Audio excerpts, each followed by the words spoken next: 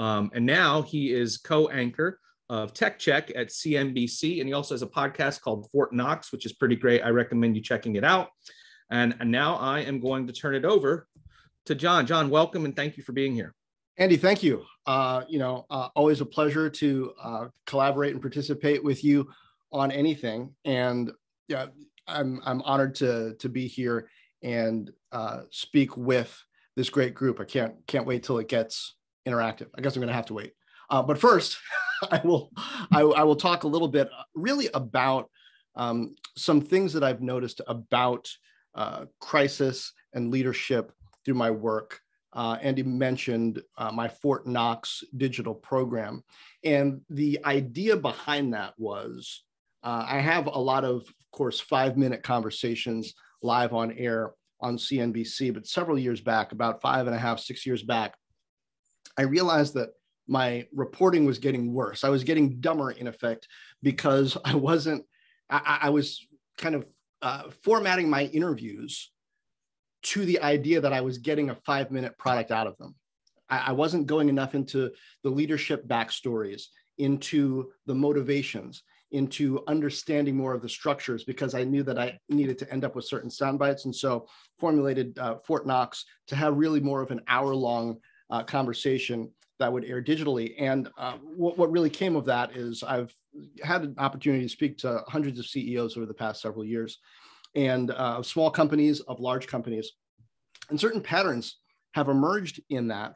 And, uh, you know, in preparing for this, I really just went back and thought about uh, some of those conversations and, and the lines um, and, and connective ideas in how things played out for leaders through different types of, of crises. So when I'm thinking about leadership in crisis, I really thought about it in three buckets in terms of the types of crisis. There are kind of macro external uh, crises that hit, like the one that we're in right now, uh, that that is spurred on by Russia's invasion of Ukraine. Uh, and the uh, coronavirus pandemic before that. So there were supply chain challenges before that that leaders were confronting. Uh, those are now exacerbated. There are inflation uh, challenges, and of course, the humanitarian uh, issues first and foremost for uh, companies that have employees in the region, um, employees have families in the region, and companies that are just sourcing materials from the region. So macro external crises. Then there are company and industry crises, um, the ones that are unique and specific to a, a particular company. Uh, think about scandals, um, people misspeaking, uh, you know, em- employee issues or industry um, industry challenges st- strategically that haven't been handled correctly in the past. And then a third category is just personal crises. Uh, there are crises that strike leaders individually in the process of their leadership and how they work through those or don't both affect them as leaders and potentially affect the entire company at the same time. So um, I think I'm going to focus for this initial time on type two and three when it comes to crisis. Not so much the macro external crisis, we can talk about that a bit later, but the company specific crisis and the personal crisis for the leader, which can at the same time uh, affect the company. So um, just, just this morning uh, on, on the show on CNBC, we're talking about one such crisis. Microsoft is in the process of trying to acquire a video game company, Activision Blizzard, for a big amount of money. It's to, I think it's around $60 billion. It's one of its biggest acquisitions ever. And the company that it's acquiring is troubled uh, in, in part because of sexual harassment um, uh, lawsuits within the company where uh, employees are saying there's been a pattern of behavior within the company over a long period of time uh, in some cases by managers uh, that managers have condoned or turned a blind eye to, they're saying, and that even the CEO knew about and didn't act upon. CEO Bobby Kotick. And, and what's happened today is uh, four senators have asked the FTC to intervene in uh, preventing this acquisition from taking place to put pressure on Kotick so that uh, th these workers' concerns can be heard. The, the dynamic in this, uh, in this company-specific crisis that, that catches my eye is between two leaders. There's Bobby Kotick himself, right, who, who is alleged to have known about various cases and not done anything about them. And then there's Satya Nadella, the CEO uh, of Microsoft that's trying to acquire this company. And what stands out to me about this is that Satya Nadella himself, when he was coming into uh, Microsoft uh, less than 10 years ago as CEO, had his own um, gender equity challenge to deal with, his own crisis, in fact. So um, to, to rewind a bit and put that into some context, I was interviewing, I was set to interview Satya Nadella, his first broadcast interview as CEO when he was named. I'd interviewed him a couple times before when he was a senior executive. And just before that interview was to take place, um, Satya was speaking to the Grace Hopper conference. It had to do with gender in technology. He's being interviewed by a member of Microsoft's board of directors and was asked a question about what women should do to ask for raises, right? It was about pay equity. And he, in what he would later uh, admit was a botched response, said in effect, well, in my experience, uh, women shouldn't ask for raises. They should just trust that the right thing is going to happen. You know, it's like karma and it'll come back to them and, and you know, et cetera. Those are the, the people I appreciate who have done that. Well, um, that didn't go over well. His interviewer told him, I, I, actually don't think that's good advice and gave what the good advice was. And here's a new CEO who has not established himself as a person and what his ethics and beliefs are, and has not established himself as an operator and how he's going to lead this company. There are lots of questions about that. There were people who thought that Microsoft should bring someone in from the auto industry to run it, that nobody inside the company would be able to uh, not only fix the culture, which had some issues, but also uh, fix the strategy, which was seen to be lagging um, all sorts of other technology players. And uh, his response to that was to say, uh, after some reflection, that he was going to really work on Microsoft's policies and its approach to gender and other diversity issues and change and do better. Uh, fast forward now uh, several years, um, say seven, eight years, Bill Gates, who at the time was seen as the culture definer and leadership authority at the company, also accused of sexual harassment. Uh, Microsoft is, is dealing with that. But Satya Nadella, because of the way he led through that personal crisis moment, has established enough credibility within the company, within the uh, industry, within the business community um, to, to be seen as a viable leader to lead through uh, this crisis. And so this sets up for me um, the, the question and dynamic of even before there is a crisis, there are experiences, ideals, demonstrated uh, patterns that leaders need to draw upon to then activate in the crisis. At the moment of crisis, it's too late, right? Um, it, it actually benefits Microsoft that its current CEO had been through that experience, had decided to set a certain sort of course on these issues. Uh, last year, as it was dealing with the Bill Gates challenges, and now as it's dealing with Activision Blizzard, it's seen as being an organization that, in terms of the way that it is run and what its track record is, could help correct Activision Blizzard's issues. The senators are merely asking it to keep this acquisition target at arm's length uh, until it can face, but and Bobby Kotick can face um, whatever corrective actions or, or even retribution uh, the, the, employees um, are seeking uh, from a legal standpoint. So um, looking more at uh, industry specific and company specific challenges that, uh, that people are attempting to lead through. Um, I also think about uh, Intel. And to, to just give some background there, uh, the current CEO of Intel is a guy named Pat Gelsinger. Um, Pat's story is that uh, when he was 18 years old, pretty fresh out of high school. Uh, he's gone to a, a little technical school. Uh, he tests well. Um, he's noticed by Intel, flies out to California, his first time on a plane. He'd grown up on a farm in Pennsylvania, uh, Dutch country, and ends up finishing uh, his degree in California, rising up through the ranks at Intel to become the chief technology officer, uh, and is then unceremoniously uh, forced out because of some disagreements with the current CEO. He becomes eventually CEO of another company, VMware, uh, does quite well. And uh, about a year and a half ago, the board of Intel asked him to consider joining the board and then asked him in that as part of that process to ask, ask him to consider being the CEO. So he comes back in at a time when Intel is not doing well. This is an industry strategic crisis that Intel finds itself in. Its chip technology is lagging behind companies it used to dominate, um, specifically AMD and NVIDIA.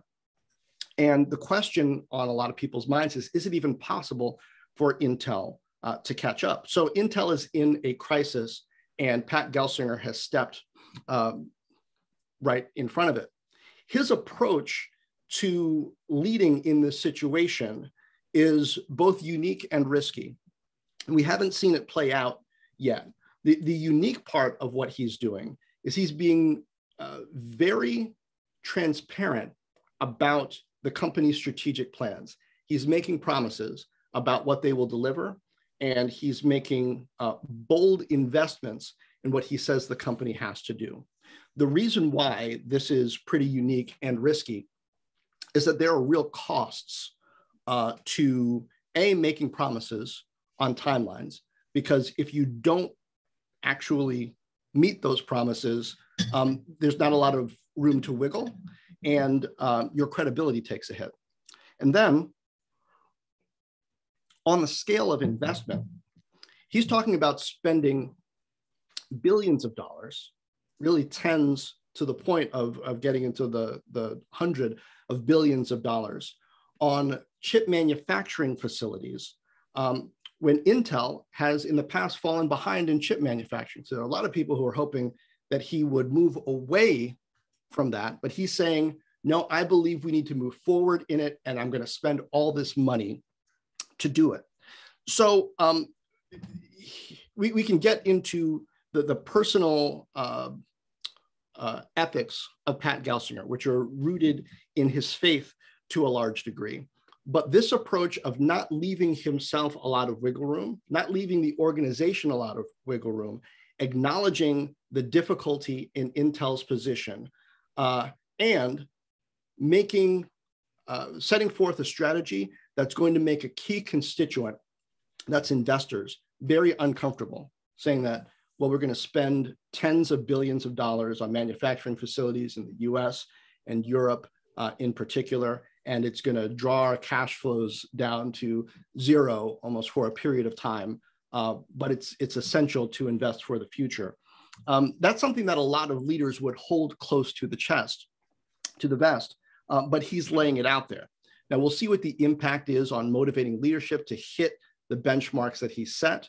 Uh, we'll see to what degree he is he needs to or is able to move benchmarks because of external events uh, like Russia's war in Ukraine that is making uh, manufacturing and building things and even accessing materials for semiconductor manufacturing difficult.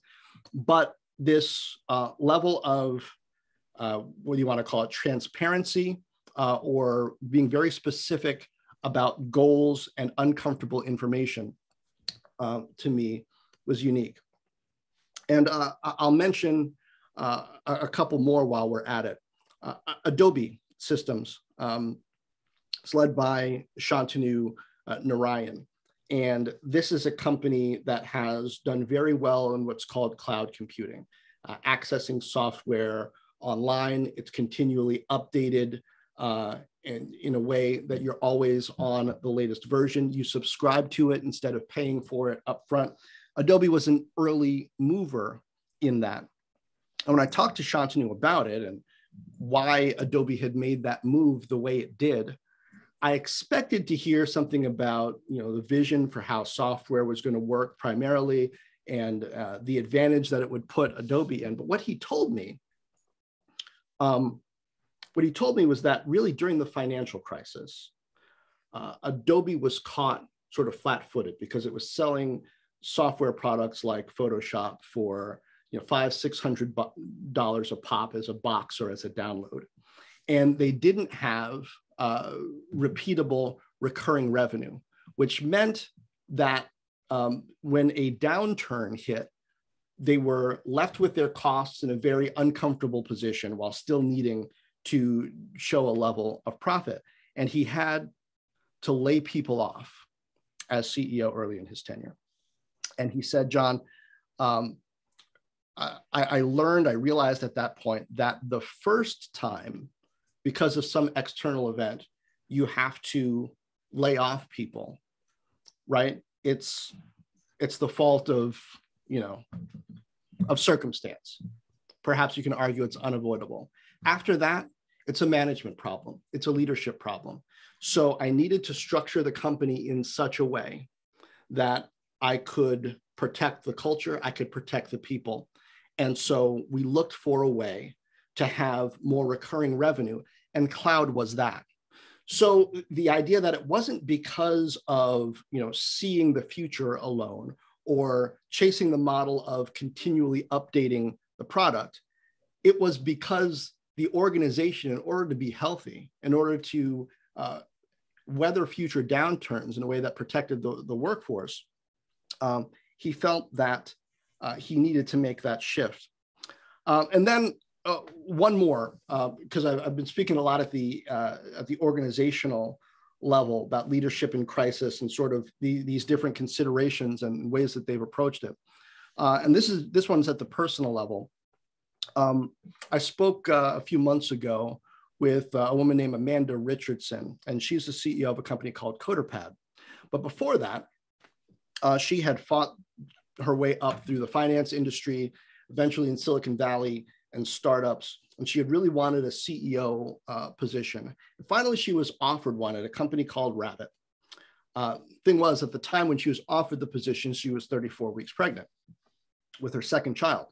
Uh, she said yes, uh, got the job. The company was in trouble though. There were only 10 months of funding left before it completely ran out of money.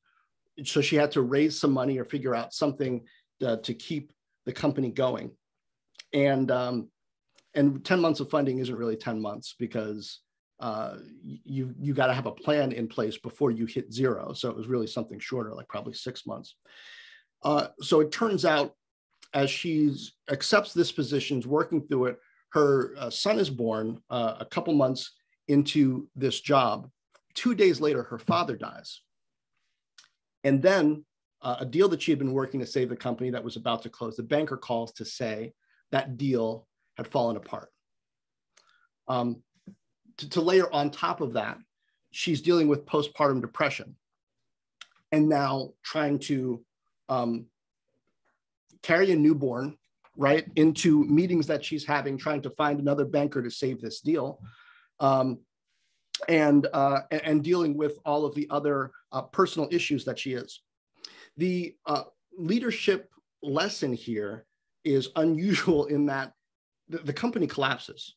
She doesn't save the company but what she gets out of that experience is both a sense of the importance in taking better care of herself uh, and the importance of recognizing that she is capable of more than she thought and that she needs to um, think about how to take care of her people so that they can achieve more. She's now the CEO of a different company and uses that experience and what she learned from it about her own limits and her own capabilities uh, in, in being a lot more personal about the way she uh, approaches challenges. So uh, more examples out there, but trying to offer just some layered examples of how um, experiences that leaders have uh, ahead of time combined with uh, their goals uh, and expectations for themselves and their companies lead to very often in my conversations, it seems frameworks that then can be activated in moments of crisis,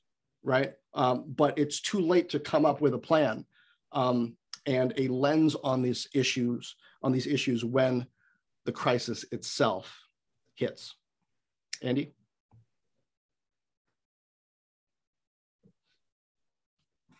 Thank you for that, Jon. Uh, I'm going to turn it now. I'd like to just have a conversation about this theme of leadership in crisis. So I welcome folks to either raise their virtual hands if you want to ask Jon a question, or you can type something into the chat. Um, and while you're thinking, I'm, I'll kick us off with a question. Um, I'm very interested and intrigued with this idea this, that you said.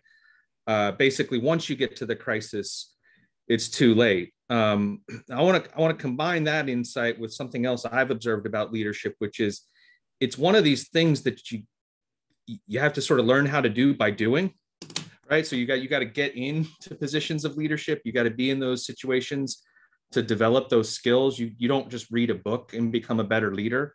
So d- take those two things together. Um, for this is uh, maybe if you have a bit of advice for early leaders or people who are just starting their leadership path, it seems like if you can't learn how to lead until you get into positions of leadership or you start doing that kind of work, it's kind of inevitable that you're going to go through one of these personal crises of some in some way, shape, or form. it Does that seem true to you? Is it sort of should leaders sort of expect that they're going to hit some valleys pretty hard? I think that is true.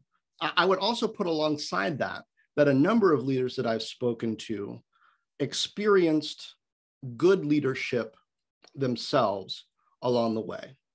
Um, one that comes to mind is uh, Sasan Goodarzi, the CEO of Intuit.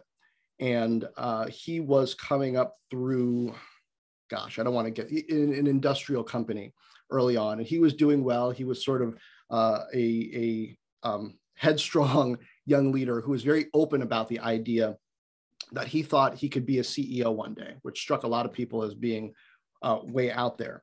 And uh, he was kind of uh, working on a, a long term project that was risky and took a long time before it showed any results to the point where the senior executives of the company wanted to come in and shut him down um, and, and do away with his team. But his supervisor, his boss said, fought to no, give them a little bit more time. They actually ended up figuring it out. It became a huge grower. He ended up being uh, very successful at that company and later found out uh, what his mentor and supervisor had done. That stuck with him as an example um, in a way that informed him. Also, the, the J- Jennifer Tejada, the CEO of PagerDuty, uh, once was a, a, young executive at Procter and Gamble. During that period of time, her father passed away, and the way management handled uh, and helped her through that time informed something in her about corporate culture that she still carries and that you know, she brings forth in leading this well it's not a startup anymore. It's a public company um, multi-billion dollar public company that she leads today. So those mentor relationships other people's demonstrated leadership and values and approaches uh, can also have a big effect as you know a, a young or earlier leader is um, is moving through the ranks i think uh, what I noticed from a lot of these people is they did take the time to derive meaning from those moments and really reflect on them and maintain the relationships uh, with those leaders who had been so effective for them beyond the time when you know that particular project or that particular reporting relationship was active. Thank you. Uh, here we go. We've got a question in the chat. Um, this is from Tony. From your conversations with presidents, oh, whoops, I just lost the question. From your conversations with presidents, CEOs, VPs, what are some key leadership characteristics, personalities, and or uh, intangibles uh, that they have? Any key lessons you can share with rising leaders, experienced leaders? Yeah, sure. I, have been thinking about that, and a couple of them that I'll, I'll point out are uh, creativity and resilience. Now, uh, creativity, I don't mean ability to draw or, or, or dance necessarily, but I mean the um, ability and motivation to look at problems differently and attack them um, outside the normal playbook. So I, I put um, Shantanu Narayen's move with Adobe toward the cloud in that category. I would also put Andy Jassy's move uh, toward the cloud in that category. Andy Jassy is the CEO, uh, new CEO over the last year of Amazon. And um, one of his early jobs at Amazon, the job before the one he has now, was the CEO of Amazon Web Services, which is Amazon's cloud arm. Amazon is generally credited with being the company that turned this whole idea of cloud computing, subscribing to uh, infrastructure and getting access to those computing resources through the internet. Uh, Amazon really showed that that was possible on the infrastructure level, allowing companies like Adobe to then take advantage of it on the software level. So the, the creativity involved is that um, soon after the dot com bust, uh, Amazon was trying to build its e commerce business bigger and bigger into new categories. And uh, they had engineers working on all of these uh, new cap- technical capabilities to enable that. And what management found was that they had multiple teams coming to them asking to build the same things with just these little differences. And they were frustrated um, because these costs were adding up and they weren't uh, collaborating with each other. They kept asking to add not only uh, more features, but more people to build those features. And so their thought was, well, if we could centralize this into a resource that then everybody can tap into and access, wouldn't that be better? And then once they figured that out from the internal challenge, they realized, well, other people could use this outside of Amazon. If we build this central uh, computing resource um, and so th- there's an element of creativity there, and not only trying to address the micro problem of we've got overlapping requests for equipment, for people, for funds, but we can solve that um, at the company level, and then we can solve it at an industry and global economy level for others. It becomes a product externally, not just a solution internally. And then resilience uh, we talk about that uh, idea a lot, but from the process of uh, pitching a startup and getting told no literally hundreds of times um, to the ability to, I would call it, play their own highlight clips in their head when things are going wrong. Um, a dogged yet principled, one would hope, belief in the end result that they're driving toward even when the near term outcomes uh, don't necessarily point um, to the idea that that, that, that long term outcome is going to happen. That resilience and ability to speak positively to oneself and to one's team um, based on replaying past successes uh, and understanding the value of those rather than focusing on past failures. Th- those are a couple things that stand out uh, to me with these leaders. Uh, got another question. Oh, uh, Greg, you have your hand up. Go ahead, unmute yourself. Sure. Lovely talk. We talk about leadership a lot. We want it to be replicable and we want it to be predictable. So we tend to pick examples that illustrate when it succeeds and sort of forget the ones that did the exact same thing and failed. So, can you address the role of luck in leadership? Um, I think it's funny you mentioned that. I was speaking to an entrepreneur yesterday, a young woman named uh, Fatima Diko, and she is the CEO of a company called Sugar. And uh, she was one of those people who has pitched, who pitched VCs, venture capitalists, hundreds of times before getting the yes that she needed in terms of seed funding to get started. There are others who I've talked to who really didn't have to pitch that many people. You know, uh, Fatima went to Stanford. She's a she's a black woman. Went to Stanford, had to pitch hundreds. Um, there are others who I've spoken to who went to Stanford and met someone there who came and gave a talk and then offered them money on the spot. Um, so luck definitely uh, plays a role. I think part of the, the question and issue is when do we call time on the end of the story, right? Because so many, it, it's sort of cheating because in a way, if I'm if I'm doing these interviews then someone is currently at a point that could be defined as success. but I'm also always trying to find those points of failure uh, along the way where things looked really bad. If you had ended the story there, well, too bad. Um, take home what little winnings you had. You came in third place, what have you. But then how did they get beyond that point if they were if they were able to? So i think that goes to the resilience question and also to the idea that um, a, a quality of, of leaders uh, that's that's important i think is being able to think in narrative and the uh, the willpower doggedness or, or delusion depending on how you, you want to put it to, to believe that you can call where in the narrative you are okay, no, this is this is bad, but we're gonna we're gonna call this the middle of the story, not the end of the story. How can I get whatever resource I need, whether that's um, money, whether that is a, a, team that believes in me, uh, whether that is um, some new uh, internal resources. One CEO I spoke with, um, Ariel Cohen of Trip Actions, who um, kind of had a breakdown and had to completely step away from his company and went for days with no communication with anyone, just cut off from the world in order to, to recenter himself. And that was so necessary, he found, that now he does it every year. He goes for a period of days and just goes off the grid uh, for his mental health. Um, the, what happened before he went off the grid, the breakdown that he had, if you had ended the story there, bad luck, bad story.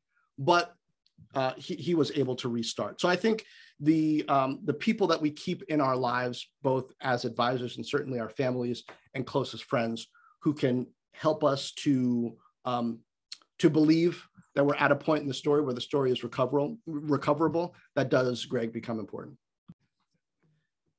Jon, a, a question in the chat from Vanessa. Uh, speaking of dogged resilience, any thoughts on the failure of leadership in the Theranos case, uh, both Elizabeth Holmes and also the board? Yeah, um, this is this is a good question. Uh, this is that line between uh, dogged belief and fraud, right? Like, are, are you believing something that is believable but just not manifested yet? So uh, it's not clear whether it can, the answer is yes or no. You just believe it can be yes.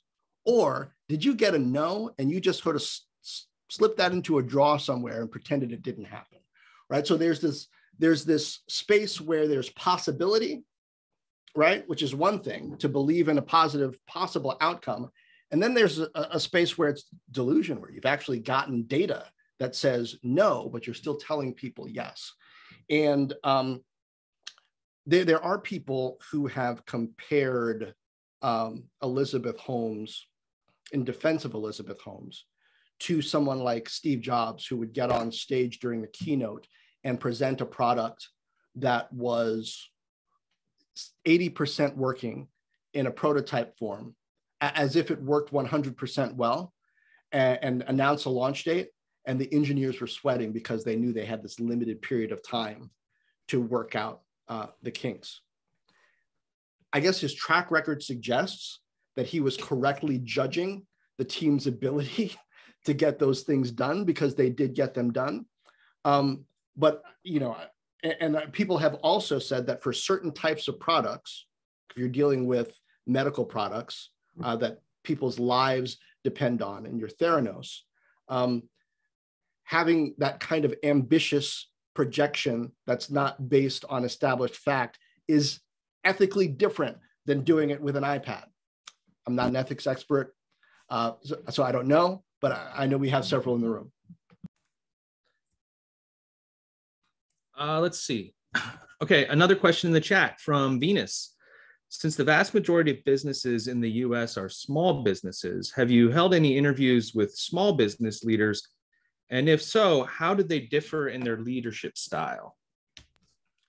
Um, I would say they differ in their experience portfolio more than in their leadership style necessarily. And uh, what I try to do is speak to um, a, a pretty wide variety of uh, leaders and entrepreneurs. So I, I mentioned Fatima Dicko. She's at a seed stage with her company. So she's got fewer than 100 employees. She would definitely uh, qualify as a small business.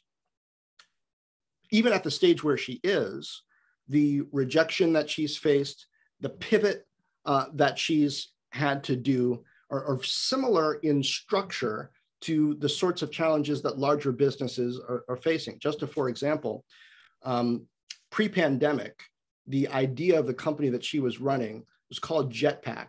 And uh, the idea was on college campuses, um, students who need certain items, say a cell phone charger or an energy drink, there was a marketplace where they could ask each other for these things and there was really quick delivery because you know it's it's it's a peer network and they're there on campus and then covid hit and students leave the campuses and her her whole business is is stalled and bleeding cash and potentially dead. Um, it almost does die but then she has this idea for a pivot. Well why don't i take this social network for living units idea and apply it to multi um, to multi-tenant housing instead essentially apartment buildings and that's what sugar is right so she's applying that same idea to an apartment building get to know your neighbors create uh, a healthier social environment landlords and managers pay for this uh, and they're able to collect rent through it uh, maintenance requests can flow through it. Um, and so it's a pivot that's been that's been good for her, but she's still a small business, right? She still has many rounds to go through before she'd even be close to having uh, an IPO or the or the sort of uh, funding level and revenue level where she would be considered large. But I see the same kinds of uh, patterns of uh, study, pivot, resilience, uh, team building, and even shifting in the, the concept of the business itself um, without necessarily shifting the core idea, you know, in order to, to stay alive. Going to another question in the chat from Mike. Uh, how do you think leadership skills transition across fields? If a leader is successful in one field, do you think those leadership skills translate to other fields? Huh. Um, let me think if, if I can draw a great example of someone who has moved from one field to another? Well, um, it, it seems that certain elements certainly do, but the leaders that I've spoken to that seem to do this best are the ones with a high level of self awareness, where um, they don't view their skill as necessarily being the product expert, but the team gatherer or perhaps the vision caster. Um, so they see themselves more as an assembler of team than necessarily the driver of action or star player. And I think when they're able to therefore put themselves in the right role as a leader and establish their credibility as being able to create success with that, then they do. And I, and I guess an example of that that comes to mind is a guy named Irving Fain, who's the founder and CEO of a company um, now, Bowery Farming, and they're an urban farm maker. So instead of growing food outside, they get these massive warehouses and uh, you know artificial lights and uh, grow lettuce or carrots or whatever in this very controlled environment. And that both the idea is cuts down on the use of water. Uh, you, you don't need pesticides because they don't let the bugs in there. And uh, sustain environmental sustainability wise, these warehouses are located in urban areas. And so there's not the, the fossil fuel burn to get from where the uh, plants are, are grown to the grocery stores that eventually get them to customers. He started in finance, right? And led there initially. Uh, he transferred what skills were necessary to Bowery for indoor uh, farming, but he has experts, right, product wise, who are working on the, the nitty gritty of agriculture and of marketing at the same time. So I think the level of self-awareness to recognize which skills uh, translate and the level of um, knowledge or outreach to be able to gather uh, team members to fill in the skills necessary for the new field um, are really what's necessary. Um, and another question message to me, which I'll ask her in a second, but before I do, um, you, I, thinking about what people can be doing to develop as leaders. I've I've seen you in other occasions sort of talk about the idea that we shouldn't confuse leadership with formal authority. And so far we've been talking about leaders who are leaders, but also in positions of formal authority. Um, what advice do you have to people, say at an organization like UC, where there's, you know, there are a few people in positions of formal authority about trying to have those experiences where they can be developing leadership skills in their current role to prepare them for advancement? Yeah, I'm, I'm fascinated by this uh, dynamic, this interaction between authority and influence, because I think those are a, couple of key elements of leadership. And you know, authority can put you in uh, on the org chart position to um, to have the ability to pay people, to hire people, uh, to fire people, perhaps to have control over the budget um, that's necessary to make certain things happen. Um, puts you in position hierarchically, perhaps, to have relationships uh, with people who can influence outcomes or policy. But then influence is different from that authority because somebody at the very lowest level of an organization, if they have a particular set of skills, right, can, can get listened to, can be judged as credible or even expert, can inspire. And uh, even without the authority to, to say, this is my team, can assemble like minded people, can start a movement within an organization to move it in a given direction. So it's particularly powerful when people with authority are able to grow their influence and people with influence, right, are, are knowledgeable enough about the mechanics, the culture, um, the reflexes of an organization to be able to either gain the authority themselves to pair with that influence or to access, right, the, the authority within the organization to accelerate a particular agenda. Hopefully, that's good for, for that organization. But I think that difference and interplay between influence and authority is important because it's um, gained in different ways and granted for different reasons. Thank you. Um, I want to pivot here in a second to talk about your project, um, the Black Experience in America. But before I want to this is R&I week, Research and Innovation Week. Um, and how do you see universities, particularly research intensive universities, impact the direction of the tech industry and that interplay with leadership in tech industries? You know, I'm not sure I'm going to have a great answer uh, to that question um, because I'm not really that familiar with the dynamics at that level of, you know, how the research influences the companies right now.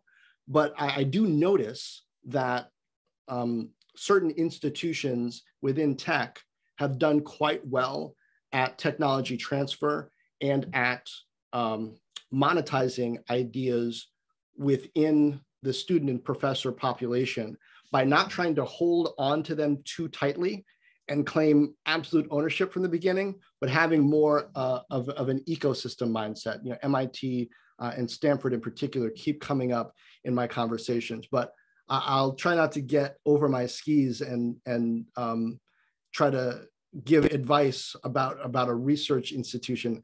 Uh, I don't know. Um, well, I do. I do. I, I'd like to, unless there are any other questions, I'd like to pivot to talking about uh, your project, the Black Experience in America. I was particularly interested in this project when you started it uh, almost a year ago. because where I was before, we were tasked with doing leadership development. And when you were talking to me about this project, I was like, a lot of these kids that I'm working with in leadership development, this is very, very important information for them to have if they aspire to be leaders uh, regarding the Black experience in America. So, could you just tell us a little bit about, you know, the origins of this project and, where it is now? Sure, um, and thank you. Uh, so, this this project, uh, I, I'm not uh, an anthropologist. I'm not a historian, but I am a father. And the origins of it were after George Floyd was murdered. Uh, I was thinking about what to say to our boys. We, we've got two sons, they're now 11 and 13. And as a journalist, I don't protest or march or put up yard signs. Um, no really uh, show of external political opinion. So, you know, we are talking about how people in town were were marching and protesting, and I of course said, "You guys are free to do that, but I um, won't go with you." And I thought, well, what can I do? And we've many of us heard about the talk that so many black parents have with our kids about police and authority and bias and I'd had that. So it wasn't about doing that. Uh, what I wanted to communicate was more long form. It was more about uh, a course, about being Black in America. And my sons are also uh, Korean American. So they're African American and Korean American. My wife's family uh, is from Korea. So I, wanted to introduce them to the thinkers and ideas and dynamics within our society that have had a big impact for me and that I think drive a lot of uh, culture and thinking. But I didn't want to tell them what to think. And so my approach was to try to put something together that gave them some uh, principles, some ideas, some thinkers to um, build off of and grow with as they seek their own answers. The structure ended up being 18 uh, lessons, about an hour to an hour and a half long, um, split into three what I call cycles. Uh, the first part um, is, is called uh, double consciousness. So it's really centered in on that idea from the souls of Black folk and W.E.B. Du Bois um, that there's this tension between being Black, African, and being American at the same time. And uh, as an African American, you're not entirely allowed to feel fully either. And so, how does that get reconciled? So, um, you know, I, I know that my experience growing up in mostly the 80s and 90s uh, was very different from my mom's, who grew up in the segregated South. And I, I know that she thought that she was seeing the world clearly. I thought I was seeing the world clearly. And so I'm sure my boys think that they're seeing the world clearly and that I, you know, dad, you don't understand things aren't like that anymore.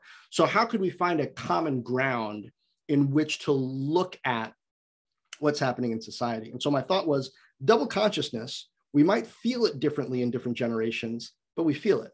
So let's explore those ideas.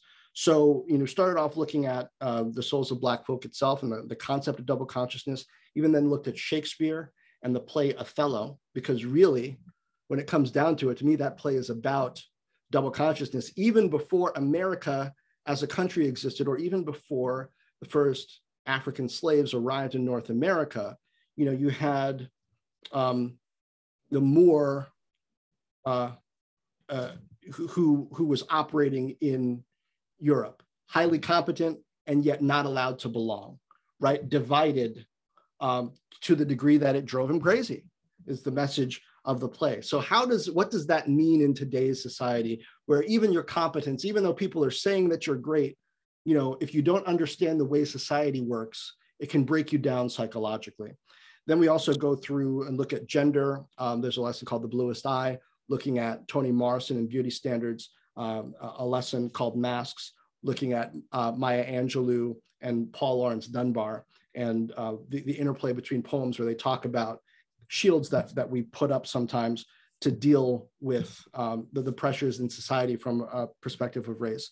And then, uh, you know, later on, we even uh, go into the, the movie Into the Spider-Verse, right? Because Miles Morales uh, is, is, really a, a, look at double consciousness because um, he's a, a, person of color. He's actually Black and Latino.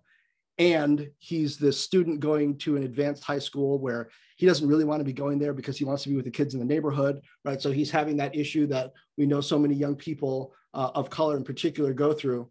Um, and then he's also Spider-Man. So maybe it's triple consciousness, right? But they're really able to relate to that and the tensions and the, the need to have some kind of healing and unifying whole in one's sense uh, of self. So that's the first section, double consciousness. Second section is called How We Got Here and looks at ancient African civilizations up to the Civil War. The idea is not to just focus on slavery and civil rights. We started with identity and we start before the slave trade looking at the civilizations that existed in Southern and East Africa um, before the slave trade began, the health of those, the culture of those, the, the science in those, the trade, right, between not only those two areas, but the trade between them and Europe and between them and Asia. Um, and then to, to fast forward, uh, the third portion is called false restarts. And uh, those last six lessons, based on this pattern that I see in American history, where there have been these moments where, in terms of race, there's a hope and expectation that we're going to take three steps forward, big leap. So, you know, emancipation after the Civil War. But then there's botched reconstruction, two steps back, right? Um, not three steps back. There's still progress being made, but not quite as much as was hoped for. And then you can, you know, look ahead at the civil rights movement and the you know busing backlash that happened after that as various localities were trying to make good on the legal promises and how the on the ground cultural realities clashed with that three steps forward two steps back. Um, you can look at the era of multiculturalism in magnet schools and you know the top line test scores look good but then under the microscope when you look at the actual outcomes for a lot of the kids of color in those schools not as good as advertised. And then my intent was looking at the, the post George Floyd murder moment where there were a lot of corporate promises being made and a lot of people saying, oh, well, it's all going to be different now. My message was, well, th- there's a pattern here. So uh, don't lose hope, but don't expect that they're just going to be three steps forward and not two steps back, because this is how it works. And I, I think we can pretty much all agree that we did have those two steps back uh, pretty quickly and are perhaps still in that space now. Andy. Thank you. All right. So um, if anybody's interested in uh, the Cincinnati Ethics Center is going to pilot uh, a, a, way for you all to take this course for free. If you would like, just uh, there's a form there in the chat. Just give me your name and email address, and I'll make sure you get included when we announce how to access that course. Uh, we'd also love your feedback on the sessions. So feel there's another form there. I hope you take time to fill that out. And uh, we've got two more events today. Uh, we've got the ethics of academic ethics and equity in academic publishing. Liz Scarpelli, the uh, director of University of Cincinnati Press, and I are going to facilitate a conversation together on that topic. That's an area that I have extreme interest in, personal interest in as well. And then we have the Hutton Lecture tonight, Confronting the Global Crisis in Knowledge Production in Healthcare. Uh, that's this evening. Not too late to RSVP to any of those. There's a link to RSVP to that. And uh, Jon, thank you so much for joining us. I appreciate it as always. Thanks for having me. And Tony, uh, Margot, do you have anything to close us out before folks head out? Just thank everyone for uh, your time and thanks for joining us today. Have a great rest of your afternoon. Thank you all.